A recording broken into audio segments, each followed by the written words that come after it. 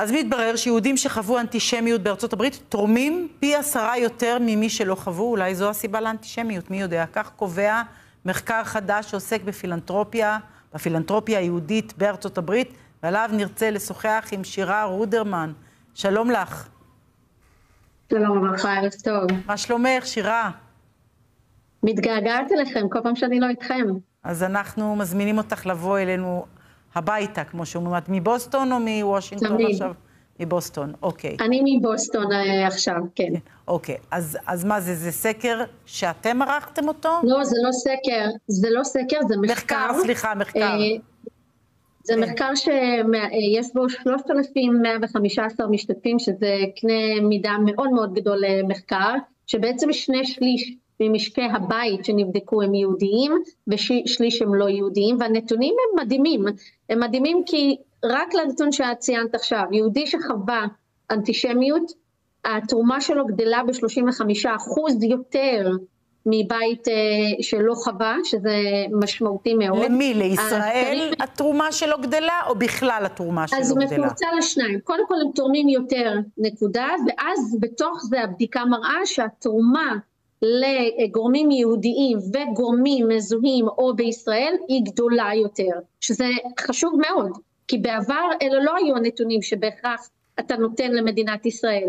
זאת אומרת שהאנטישמית לצערנו עושה כמה דברים. קודם כל היא מחזקת את ה... אה, אה, פתאום הזהות והמעורבות. הדבר השני זה את הנתינה לישראל. אבל אני רוצה לציין עוד כמה דברים ברשותך. המחקר הזה מראה כמה נתונים מאוד מאוד חשובים. אחד, שגם בתוך הקהילה היהודית פתאום יש התייחסות, אני אומרת, גם אה, מזרחית, אתנית, ספרדית או אה, אשכנזית, וגם פה אנחנו פעם ראשונה בתוך העולם היהודי רואים את ההבדל, ש-48% ממשקי הבית היהודיים המזוהים כמזרחים נותנים יותר. זאת אומרת, יהודי אשכנזי האחוזים הם על 26 אחוזים, משקי הבית, ומשקי הבית המזרחיים 48 אחוזים. וואו. אני רוצה לציין, איילה, ברשותך, זה, זה באמת אל תקריסי. פה כל מיני... זה, כן. יש לא, פה- אני לא, אני רק יש פה, יש פה להראות גזענות נגד אה, הקהילות לא, שאת מציינת אותן. לא, לא, לא, לא, לא אצלכם, פה, פה בישראל, פה בישראל. כן, כן. לא, פה זה צריך לשמח אותנו בדבר אחד, שזה אומר שגם פה הקהילה היהודית היא מגוונת וסוף סוף מכירה בגיוון שלה, זה מה שניסיתי לומר, זה גם פה שיש גיוון. דבר שני, אני רוצה לציין עובדה חשובה שזה לא ארגונים יהודיים, אלו משקי בית פרטיים, יוקר המחיה גם פה עולה, המלחמה והקורונה, אני אומרת, נטו גם את אותותיהם במשקי הבית היהודיים, ועדיין, עדיין רואים את המחויבות גם לישראל, גם לנושאים יהודיים. אבל שירה ונתון נוסף- אני חייבת לשאול אותך, מה, היום רוב המשפחות הן מעורבות. מה, את רוצה להגיד לי שבארצות הברית יש עוד את הדיכוטומיה הזאת, אשכנזים וספרדים, או אשכנזים ומזרחים? סתם ניקח לא, משפחת בארצות רודרמן לדוגמה. משפחה נדבנית, נכון. טובה, מעורבת, נכון? אז איך אתם נקבעים? אבל יש פה שני נתונים. בעבר, קודם כל, לא הייתה התייחסות בכלל לצד האותנטי בתוך הקהילה היהודית. זאת אומרת, התייחסנו לקובץ מאוד מאוד מסוים. היום הקהילה היהודית מורכבת מהקהילה הרוסית, הקהילה הישראלית, מספרדים מאיראן שחיים פה ואף פעם לא הבנתי. התייחסנו לזה בביטוי מחקרי.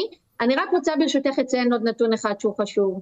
משקי בית מעורבים יהודים ולא יהודים, שדווקא לא אתנית, אני אומרת יהודים ולא יהודים ומשקי בית יהודיים. גם פה רואים הבדל.